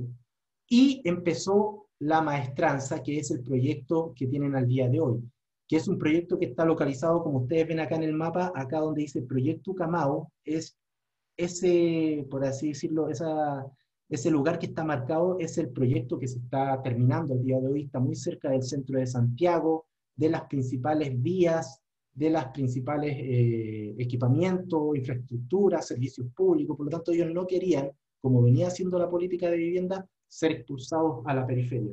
Pero ocurrían problemas, que ahí comenzaron a enfrentarse con estos técnicos y tecnócratas, que ese terreno de la maestranza es un terreno de una empresa del Estado una empresa de ferrocarriles. Y Ferrocarriles lo que les dijo es que el Estado no le puede vender al Estado, es decir, la empresa de ferrocarriles no le puede vender al servicio de vivienda y urbanismo, eh, y por lo tanto no, no podían pasarle el, el, terreno. ¿Cuál es la estrategia que ellos hacen? Ellos se hacen pasar por una inmobiliaria, escriben una carta en donde les ofrecen eh, cierto valor por el terreno y eh, le ponen el timbre de que es una inmobiliaria y F señala que sí, les puede pasar el terreno a esta inmobiliaria, pero ellos después le escriben una carta como pobladores y les dice que no. Ellos hacen un estudio, hacen un estudio de cuántas veces se había vendido este terreno y finalmente se dieron cuenta de que el terreno sí se había vendido entre agentes públicos y por tanto dijeron, si hay antecedentes, se puede hacer. ¿Qué lograron con eso? Lograron que ese terreno de la empresa de ferrocarriles del Estado fuese pasado al Servio para que el Servio se lo entregara a ellos para poder construir su vivienda y su proyecto de la maestranza para estas 424 familias. ¿ya? Eso es algo inaudito, por cuanto gran parte de los terrenos eh, que se entregan para las familias y de vivienda social están todos en la periferia y ninguno en un sector tan consolidado como este. Y ellos proyectaron, proyectaron e hicieron este proyecto de vivienda, pero no lo hizo un ente ajeno a ellos, sino que lo hicieron en conjunto con arquitectos que les ofrecieron la ayuda. Y por lo tanto, ese proyecto fueron ellos los que decidieron cómo tenía que ser, cómo tenían que ser los patios interiores. Como ustedes ven ahí, los patios interiores es ahí donde iban a jugar los niños. Y en los departamentos ellos podían ver dónde estaban jugando los niños. ¿ya? Eh, se proyectaron para ser modificadas en futuros, en, futuro, Posteriormente de la entrega de la casa, se puede botar el tabique de la cocina dejando una cocina americana, ellos lo decidieron también, ¿ya? Eh, el conjunto tiene colores rojos y negros que representan el movimiento Camao, ¿ya? Y los pasillos cuentan con una luz de ojo pez en todos los pasillos que ellos también dijeron para poder tener bien iluminado con luz natural los pasillos y la luz cae desde arriba desde el quinto piso, a el, el, siguiente piso tiene otro ojo de pez y así va cayendo la luz. Eso lo proyectaron ellos en conjunto con, con los niños y con quienes iban a habitar allí. Y está la sede, la sede al centro, acá que están viendo ustedes, por cuanto para ellos la comunidad es lo más importante. Y en este proceso de lucha hicieron comunidad y ahí tenía que estar el centro comunitario en donde se van a reunir eh, cuando les entreguen los departamentos. ¿Qué más? Ellos, ellos participaron en la elaboración del subsidio y con eso pudieron saber de que si ellos no tenían una EGIS, una entidad de gestión inmobiliaria social, eh, los departamentos podían tener 6 metros cuadrados más. Por lo tanto, ellos se autorrepresentaron frente al serbio. Y ellos fueron los que llevaron los planos, cuando los hicieron con los arquitectos, para el serbio e hicieron todos los trámites. ¿Ya? ¿Para qué? Para tener 6 metros cuadrados más. Por lo tanto, teniendo en cuenta este modelo que yo les señalé, que es el de subida y bajada y de constante tensión del poder en la ciudad, tanto de los sujetos de la ciudad como del Estado, ocurre que las insurgencias espaciales llegaron a tal punto que lo que ustedes están viendo ahí es la toma del Serviu, del Servicio de Vivienda y Urbanismo, por parte de Ucamón. ¿Por qué? Finalmente, este proyecto eh, se entregó a una empresa constructora privada una empresa que se declaró en quiebra en, en, pleno proceso de construcción, los pobladores les dijeron que esa empresa no la tomaran, sino que tomaran otra, que era un poco más cara, pero el Servio no accedió, eh, y terminaron pagando los costos, el Servio. ¿Por qué? Porque esto generó un retraso, un retraso más, un año más de retraso en este proyecto, y por tanto las familias lo que fueron a hacer fue a tomarse el Servio y en un gesto simbólico lo que hicieron fue tomar papeles que no eran oficiales y lanzarlos por la ventana diciendo el serbio no cumple con su palabra. ¿ya? Esto fue una estrategia sumamente interesante por cuanto ellos se organizan para poder entrar al edificio eh, y poder tomarse cada uno de los pisos y llegar hasta arriba. ¿ya? Sin embargo, esa medida se toma como insurgencia espacial para presionar al serbio para que cambie la constructora eh, y finalmente llega a la constructora que le habían señalado los pobladores que era un poco más cara, pero que iba a terminar el trabajo. ¿ya? Por lo tanto, esta insurgencia espacial, de muchas que ellos tuvieron, más su lucha urbana, que fue organizarse constantemente, lograron este proyecto que al día de hoy es un proyecto sumamente visitado por, por varias personas de diferentes países eh, y ha resultado un modelo para los otros movimientos y es por eso que otros movimientos y comités se han comenzado a plegar al movimiento de pobladores Ucamados porque ellos saben cómo enfrentarse a, al mundo más tecnocrático. Para finalizar, eh, solamente cerrar señalando que bueno, la, la, la, categoría de la despolitización espacial nos puede ayudar a comprender eh, otros procesos del neoliberalismo que no habían sido cautelados y que habían sido bien silenciosos, eh, sobre todo en el sentido de, de neoliberalizar a los sujetos, eh, y este proceso de despolitización que se inicia en el 73 en Chile, la región metropolitana, parte con una violencia militar, después una legal, después un control mediante la planificación y luego de desarticulación de las redes y posteriormente institucionalización por medio de los subsidios a las familias de pobladores. Los subsidios antes solamente podían ser eh, individuales, y recientemente se abre la opción colectiva para los comités de vivienda. Y por lo tanto, las formas eh, que adquieren estas políticas urbanas la, la, hacen ser eh, también tener un, una, un efecto en la subjetividad y en nuestras formas de comportarnos en la ciudad y en nuestras formas de tratar de eh, luchar por ciertos aspectos. ¿ya? Sin embargo, los pobladores han vuelto a tener cierto, cierto eh, rol al día de hoy. El movimiento de pobladores ya se encuentra instalando nuevamente ciertos discursos para abrir, para abrir el, el, el, ámbito de la política de vivienda. El movimiento de pobladores Ucamau se encuentra ahora eh, participando en la ley de integración social y urbana que se está tramitando en el Congreso y está proponiendo la, la creación de una empresa nacional de construcción e insumos, ¿ya? como una forma alternativa para poder acceder a la vivienda y que no solo el 100% del mercado esté a cargo de eh, privados. ¿ya? Por lo tanto, eh, esa era la presentación. lo lamento por, por, porque me pasé un poco del tiempo. y reitero mis agradecimientos por la invitación y ojalá que esto se vuelva a repetir. Muchas gracias. Eh, muchas gracias a ti, Alex, por la presentación. Fue extensa, pero fue muy interesante. Eh, personalmente a mí me, me, agradó mucho y me agrada mucho los temas de, las condiciones políticas y la producción de, la ciudad. Eh, ahora vamos a dar pase eh, a preguntas de los participantes. Si es que existiese alguna pregunta, eh, pueden formularla a, través del chat o si no, pueden usar la opción de levantar la mano para activar su micro y poder formular su pregunta a voz abierta.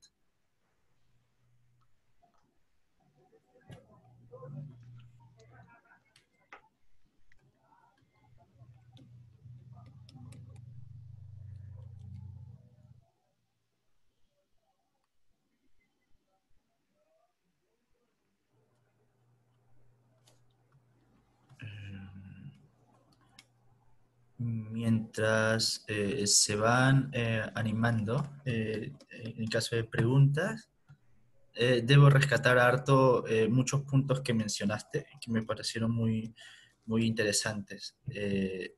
primero, en el marco general, que el tema como el poder en la ciudad, era tratar de ver quiénes son los actores que están detrás de la producción de la ciudad actual y sobre todo rescatarlo un análisis desde una dimensión eh, espacial y temporal, como la que has presentado eh, en, tu, en, tu, presentación.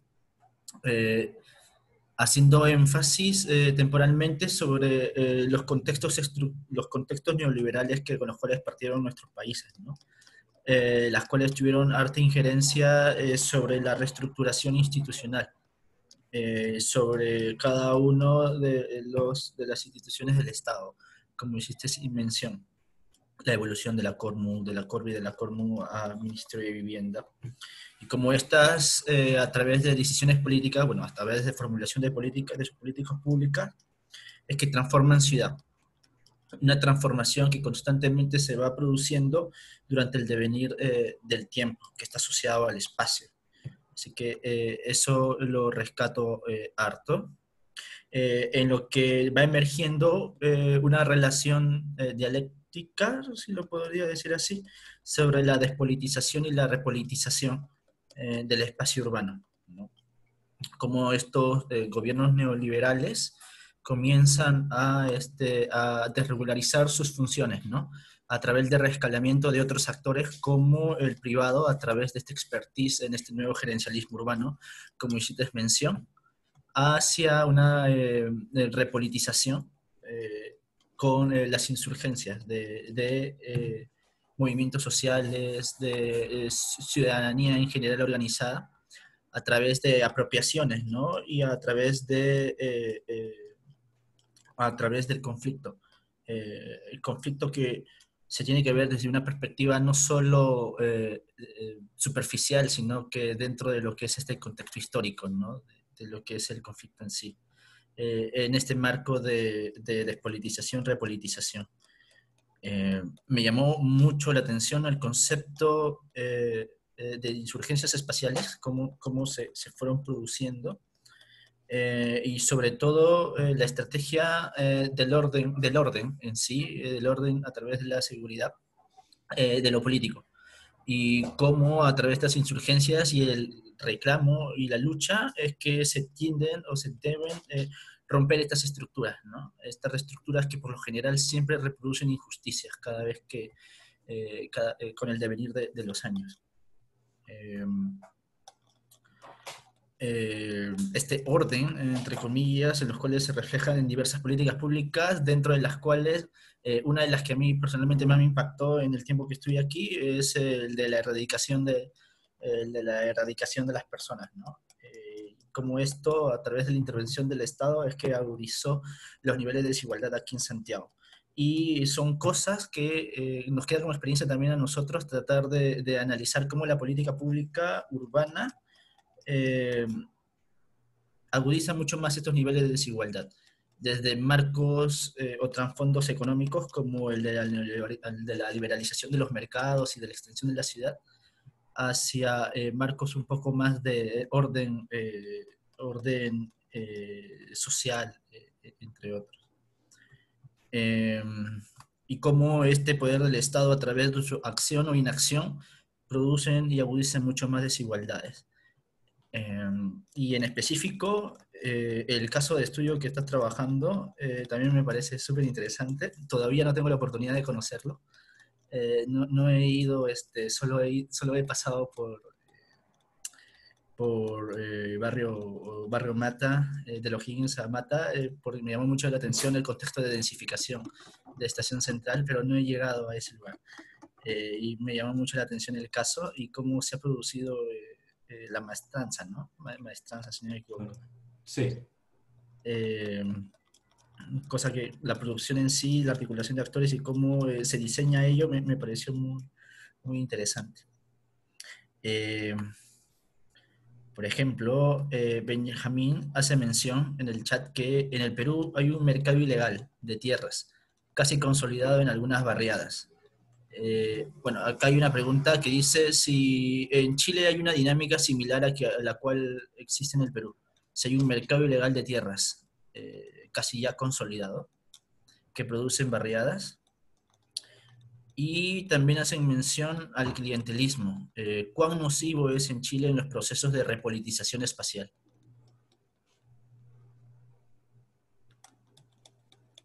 Perfecto. Eso lo, lo preguntó Benjamín. Uno, la primera pregunta sobre eh, si en Chile existe un mercado ilegal de tierras consolidado, lo preguntó Benjamín y eh, Fabio preguntó eh, cuán nociva es el clientelismo en los procesos de repolitización espacial. Perfecto.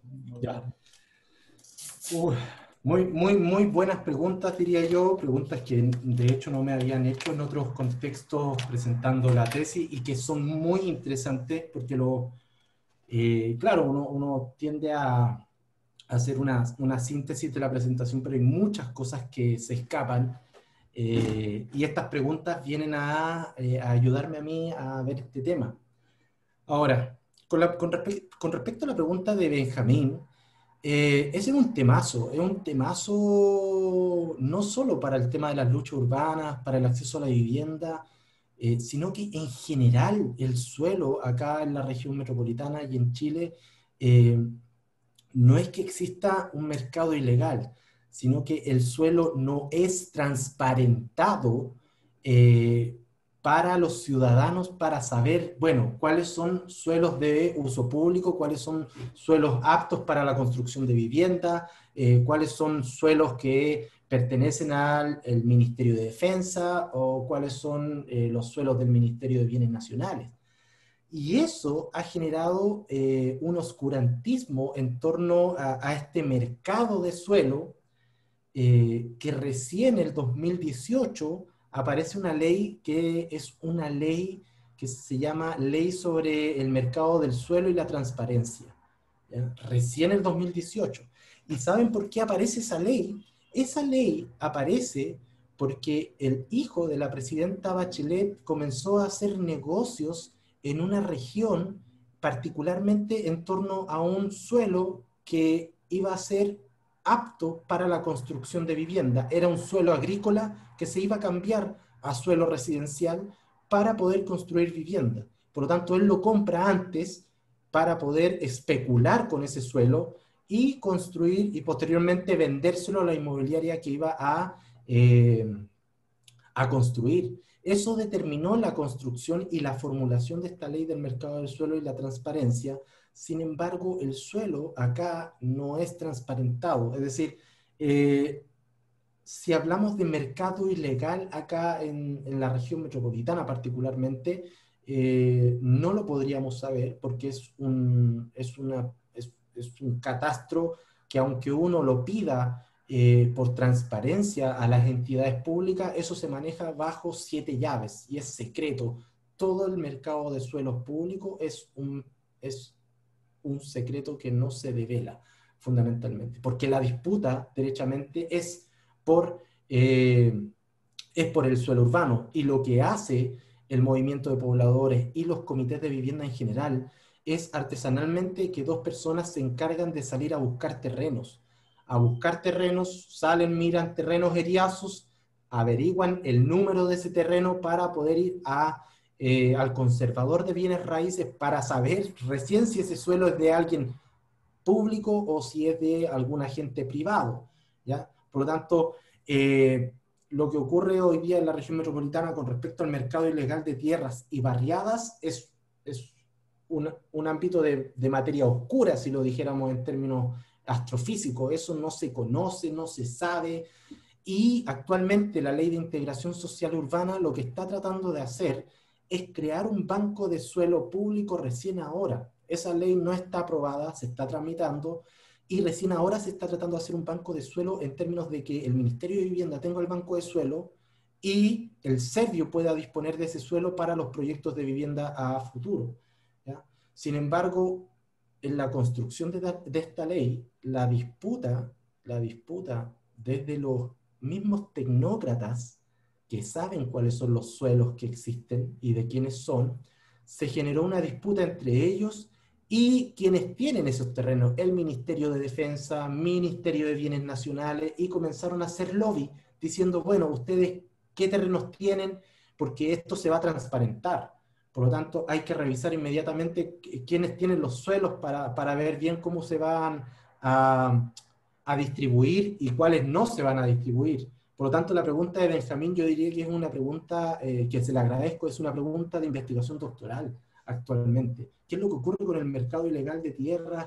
Eh, y, qué ocurre con las, barriadas en ese contexto? Por lo tanto, lo que generalmente se hace en términos de, toma de terreno es tratar de tomarse un terreno de alguien que sea influyente, ¿ya? que sea influyente en términos de eh, la política, para poder presionar de mayor forma al Estado.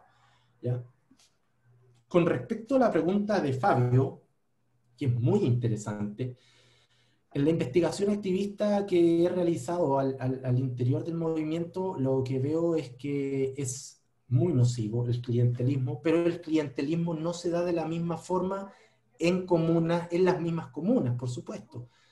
Las comunas más periurbanas, las que están más hacia afuera de la región metropolitana, son comunas que tienen un nivel de clientelismo por parte del alcalde impresionante.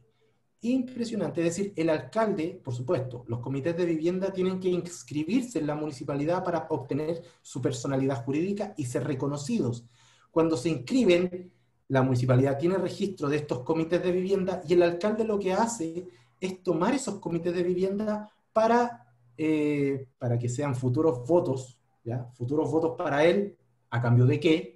a cambio de terrenos, ¿ya? A cambio de terrenos en la comuna o promesas de terrenos. Por lo tanto, lo que hemos visto es que en los territorios de Ucamau, en el sector periurbano, rural, ese clientelismo es muy, es muy, es muy nocivo. ¿Por qué? Porque se, se ofrecen terrenos a cambio de votos finalmente. Y lo que ha ocurrido con el movimiento Ucamau es que como el movimiento Ucamau eh, no tiene esa lógica de clientelismo, Ucamau escala pasa de la municipalidad al servio, a hablar inmediatamente con el servio para ver ese tema y no habla con la municipalidad para evitar ese tipo de clientelismo. Por lo tanto, ese tipo de fenómenos no se da al interior de la ciudad en, comunas más eh, consolidadas, sino que se da más bien en sectores rurales. ¿Por qué? Porque hay mayor disponibilidad de terrenos, no así en las comunas eh, consolidadas o del, del, del Gran Santiago o del anillo urbano. ¿ya? Por lo tanto, esa pregunta es muy interesante y hasta el día de hoy el clientelismo lo que hace es contener, es contener los procesos de insurgencias espaciales, contener las protestas.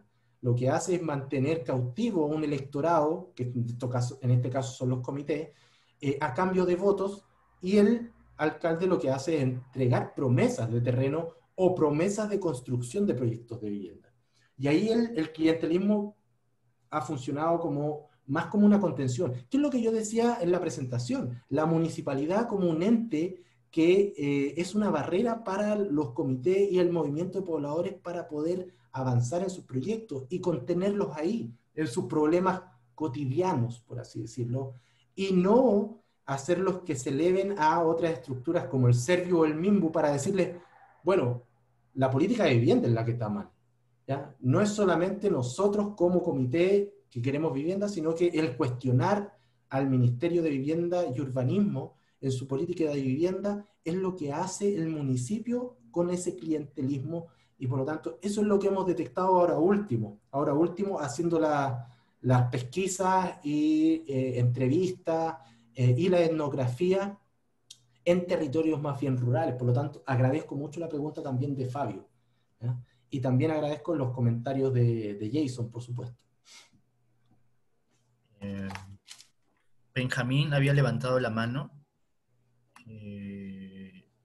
Ah, buenas noches. Buenas noches.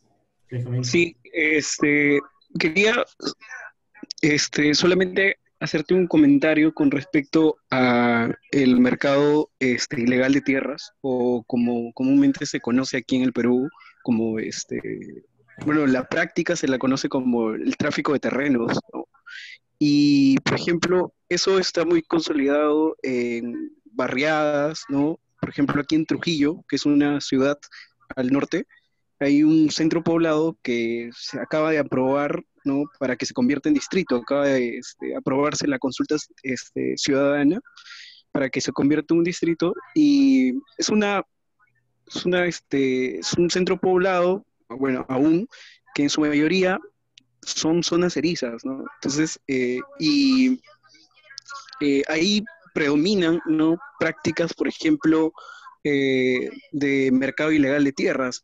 Y, por ejemplo, uno de los, hablabas de sujetos detrás de la producción de la ciudad y, por ejemplo, hay, dos tesis ahora, mm, hasta el momento, de tráfico de terrenos, de mercado ilegal de tierras, ¿no?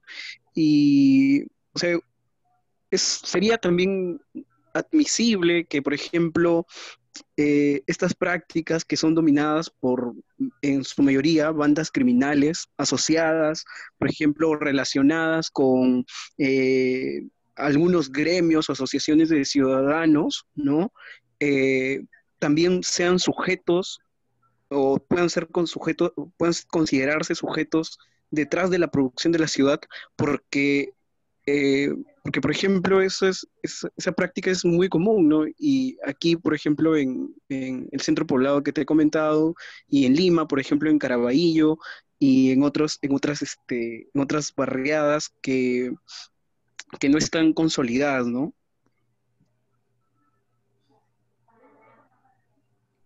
Perfecto. Claro, claro, Benjamín. Sí, sí, lo, lo que yo señalaba fundamentalmente es que eh, en este caso, en este caso en donde la política urbana formalizó absolutamente todo y sobre todo el derecho de propiedad, eh, ese tráfico de, de tierras eh, no necesariamente se da acá en términos de bandas criminales, sino que por parte de agentes públicos y privados eh, derechamente. Y eso es lo que ha ocurrido con esta creación de bancos de suelo, en donde algunos de ellos se han puesto un poco más inquietos eh, en ese sentido. ¿ya? Aquí uno de los gremios, no, el segundo gremio más poderoso eh, en términos empresariales es la Cámara Chilena de la Construcción. Y por lo tanto, en ese sentido, la Cámara Chilena de la Construcción es un agente privado muy potente en el término de la presión por los suelos eh, y es probable que en el tema también del tráfico de suelo. Sin embargo, no tenemos, no tenemos hasta el momento alguna, alguna evidencia en términos de, de tráficos ilegales eh, de suelo, sino que más bien lo que yo he eh, percibido al ingresar sobre todo a contextos institucionales eh, por ejemplo, del Consejo Nacional de Desarrollo Urbano, he visto este tipo de discusiones en, pasillo, ¿ya? En pasillo, no, no, no, no, es algo que esté mediante una fuente, sino que es, es como una etnografía que me ha llevado a esos espacios de estos agentes en donde he podido notar este tráfico de, de, de, suelo a partir de la creación de un banco de suelo público. ¿ya? Por lo tanto, la presión sobre eso va a ser bastante importante y, y, eso para puntualizar lo que tú me señalabas, principalmente.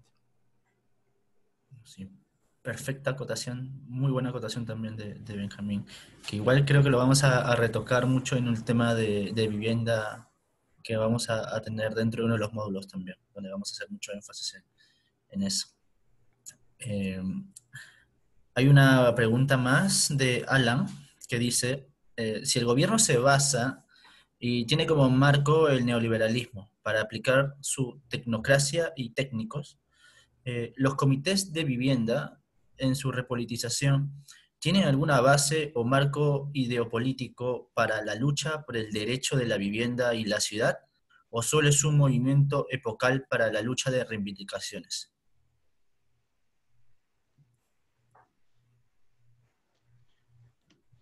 Gracias por la, por la pregunta, Alan.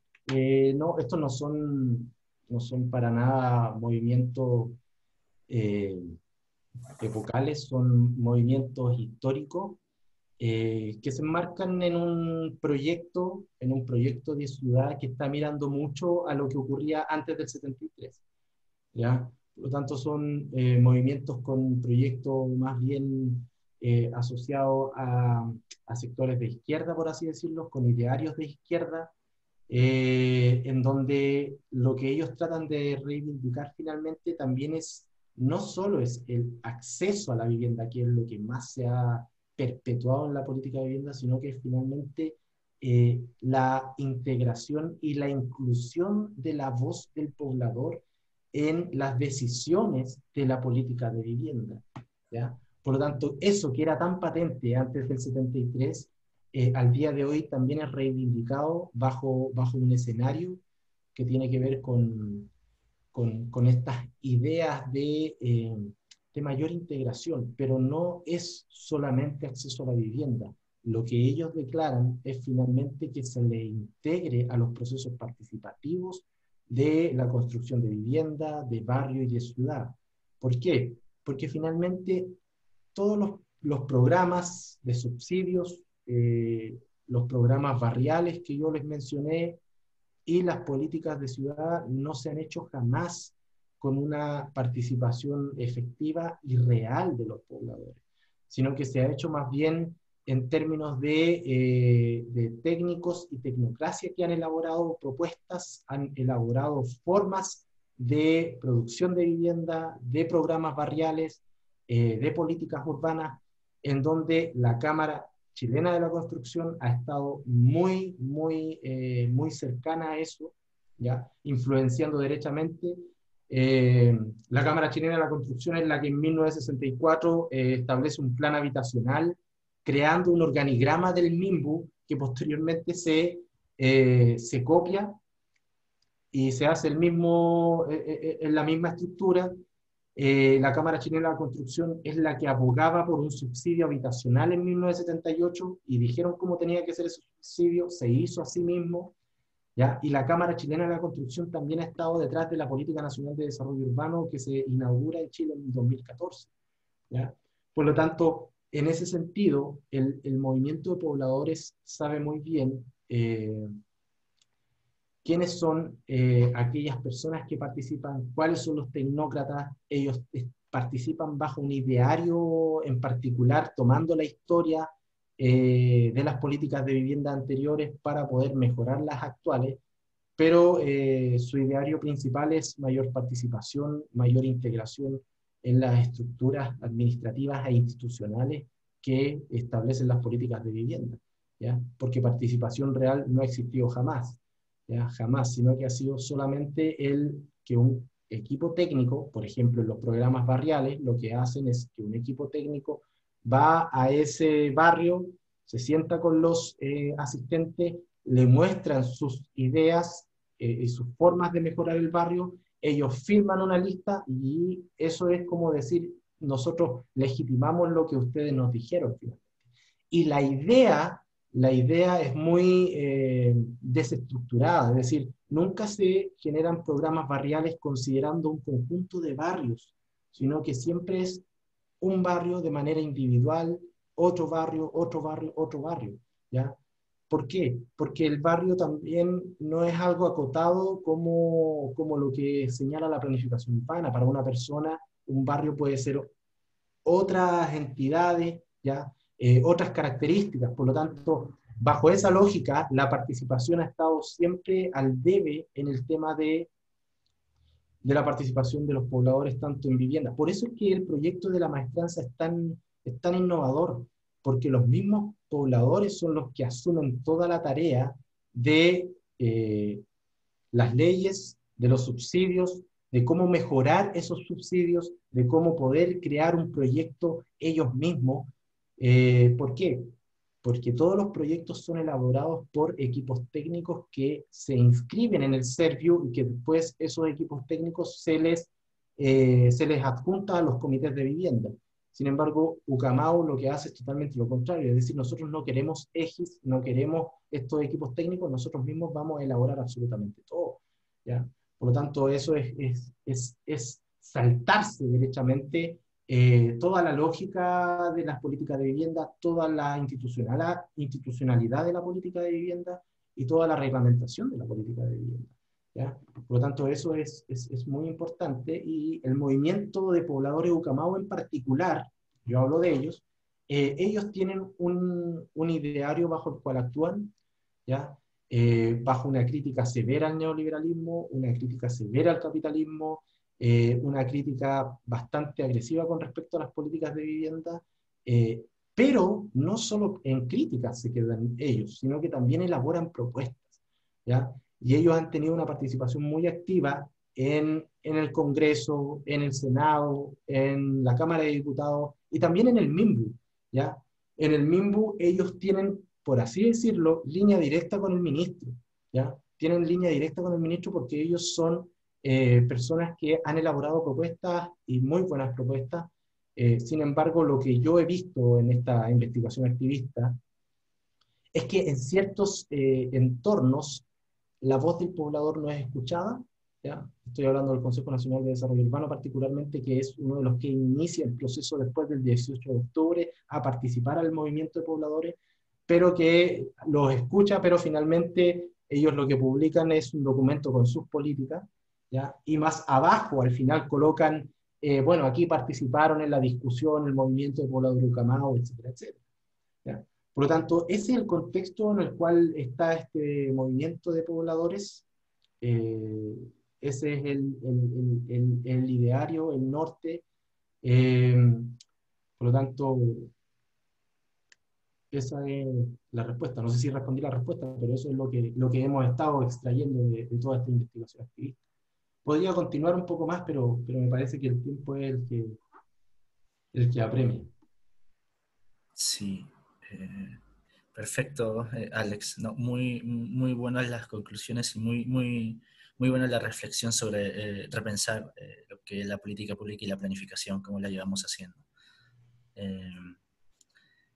Bueno, si creo que ya no hay más preguntas eh, por parte de los participantes, eh, te damos las gracias, eh, Alex, por tu presentación. Es una tesis muy interesante que, me ha llamado harto la atención. La había conversado ya antes con, con Voltier y, y, y, sí está, está muy, muy, muy interesante. Eh, te agradecemos harto y esperamos este, seguir haciendo más cosas, Alex, eh, dentro de lo que es este, las actividades dentro de esta comisión. Eh, y agradecer también a los participantes eh, por estar aquí presentes y por estar con nosotros durante cada una de estas semanas. Eh, igual les hacemos las invitaciones para que sigan participando durante la próxima semana de este seminario eh, online de introducción a los estudios de la ciudad. Eh, muchas gracias, eh, que tengan una buena semana y, y, cuídense mucho. Nos estamos viendo. Muchas gracias. Muchas gracias por la invitación. Saludos a todos. Un abrazo.